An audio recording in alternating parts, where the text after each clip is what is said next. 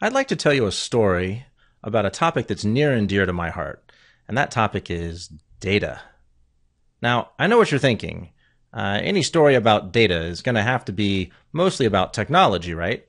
And jam packed with formulas and probably uh, contain a lot of scholarly bullet points. Um, well, I promise you we're not going to do any of that here. Because it turns out this story is about you as much as anything else. And I mean that. Whether you're on the business side of the house or work in IT, or maybe you float somewhere in between, I promise this is relevant. Uh, it also doesn't matter what level of the org chart uh, you work at, and it, you do not require some sort of like PhD in math uh, in order to follow along or for this to be valuable for you.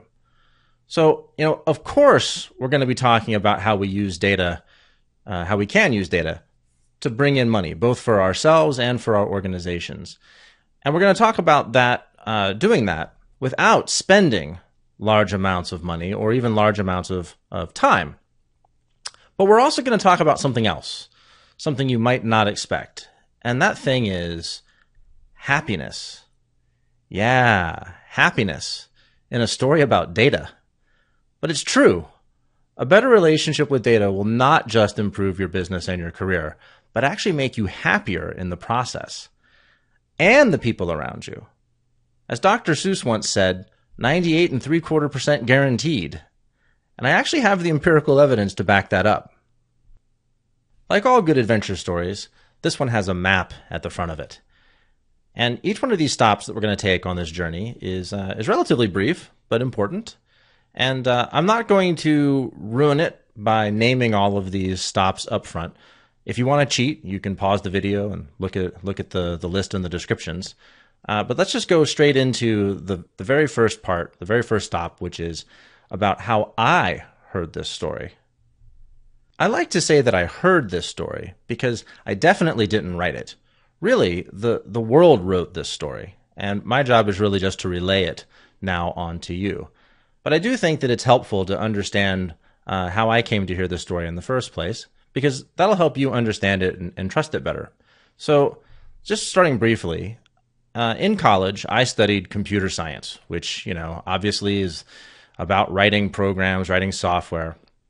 But fundamentally, at a, at a deeper level, it's really about the art of using machines to turn data into information. Then, after college, after I, I spent that time in engineering and all that stuff, uh, then I, I spent my next 14 years toiling in the fires of Mount Redmond, which you probably know better as Microsoft. And while at Microsoft, I worked on a bunch of things. Uh, primarily worked on Excel. Uh, I worked on some other things that you probably never heard of. Uh, but I did work on some other things that you have, such as I spent a little time working on the, the Bing search engine, which is definitely about data. And then the last thing I did at Microsoft was this thing called Power Pivot. So the common thread, of course, in all of this is guess what? Data. Uh, four years studying the theory of data in school, and then another 14 years using those theories to, to produce tools, uh, tools for working with data. So that's, you know, all told, 18 years spent uh, up to my eyeballs working on data.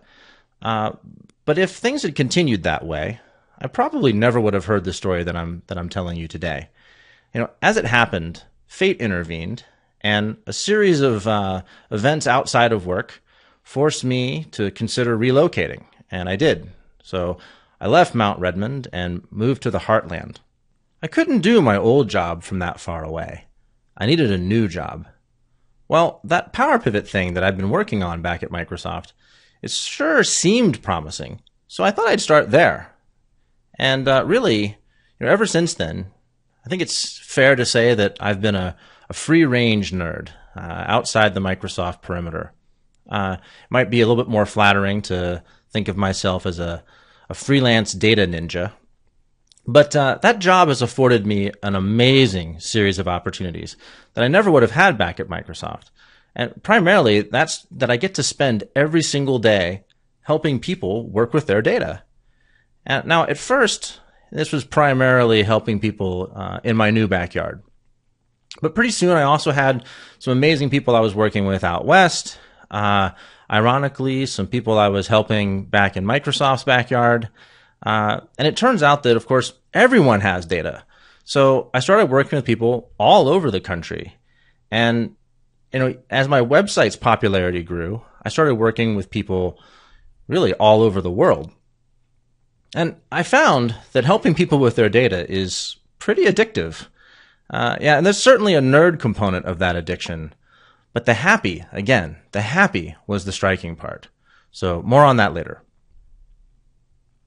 At this point, I think it's fair to say that I've had experience with all phases of sort of the, the data lifecycle, theory, tools, and then the actual application uh, of those tools to work with data. But it's that last part, the application uh, of it, that has really put the exclamation point uh, on all of this for me. And in the process, I've learned something pretty amazing about Power Pivot.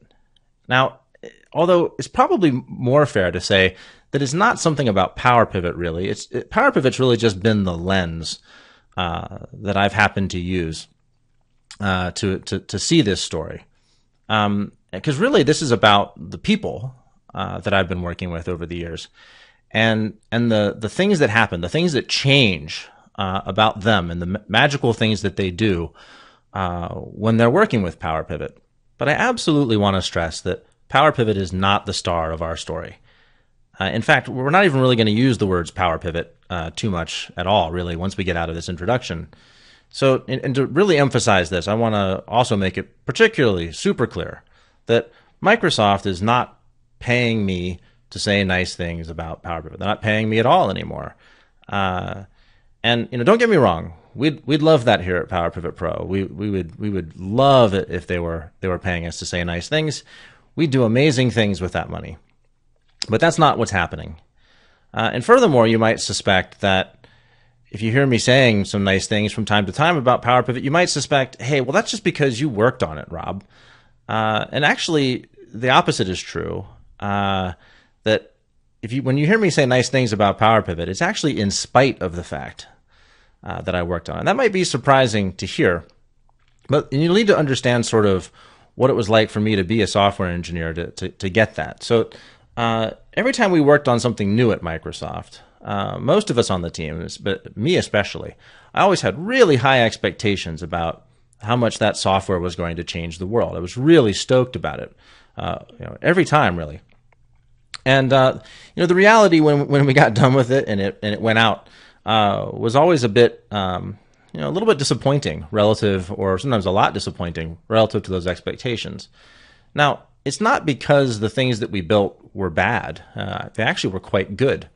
It's just more that my real my expectations were not terribly realistic. Uh, and you know, it's important to be really optimistic going into these things, and you know, get really excited and jazzed up. So I think that serves its purpose. Um, but it does lead to sort of a, an emotional crash of, of sorts Plus, uh, in order to be to, to build good software, you have to spend you know two plus years of your life focused 100% every single day on all the things that are wrong with that software because you're you're trying to improve it, trying to make it better, and that gives you kind of a distorted view uh, of of the product's worth over time. It, it it does get to you after a while. Now imagine doing this this cycle over and over again for 14 years. This you know high expectations and then the the, the crash of reality uh, over and over again. So when I went out into the wild and started hearing uh, hearing some surprising things that you know maybe this was working working really well, maybe even better than we expected. Uh, I didn't let myself hear it. All that uh, acclamation from back in the day, uh, yeah, I just I was filtering it out, and I had to hear it a lot uh, I had to hear it a lot of times, um, and not just good things. I was hearing the same sorts of stories uh, over and over again, uh, and that's when I, I finally sort of took down my my shield and, and allowed myself uh, to hear what the world was telling me. Well, I've gotten it through my thick skull now, and uh, as they say in Vegas, I'm all in at this point. So betting my future, and we're betting the future of our company on this data revolution that we've been witnessing. Uh, and so very much we're still doing, I'm still doing uh, the thing that started it all, which is helping people turn their data into actionable information. That's incredibly gratifying. And it's not just me anymore either. We've been uh, adding team, adding adding to the team to help more people uh, as time goes on. Now, at the strategic level, uh, we've also found it very gratifying to help people sort of get the most out of all of this at a cultural and um, and base infrastructure sort of level as well. Uh, so that's been that's been rewarding. Um, growing up, I always kind of wanted to be a teacher, and this is this has given me the opportunity to be one. So uh, I've been really grateful uh, for that. Uh, I never expected to write books, but there you have it. I've uh, written two of them, which is two more than um, two more than I ever expected, and one more than I ever expected to write after I wrote the first one. Uh, and similarly, I never expected to spend six months, uh, sort of like in a video production mode, building online training. But all of this just seems important uh, in a way that nothing uh, in my career has has ever really seemed uh, important before. So. Uh, I hope you'll stick with us as this story unfolds, uh, and I hope that over time, uh, as, as, it unfolds, you'll see why I think all of this is important. So, um, check back with us for the for the next installment.